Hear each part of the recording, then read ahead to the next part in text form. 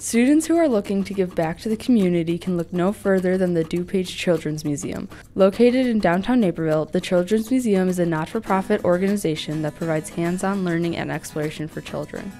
So the position I have open right now is called museum assistant. And what a museum assistant does is um, two different things.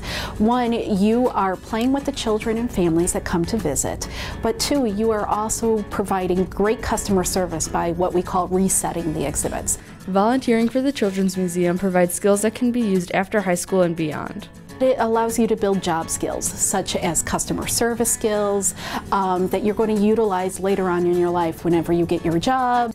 In addition to those benefits, the greatest feeling for volunteers is just knowing that they are a role model for children. Our youngest visitors will see you, um, you know, with a great work ethic, with being able to play, with being able to listen and take direction from our visitors and staff, and also just being available for the visitor themselves.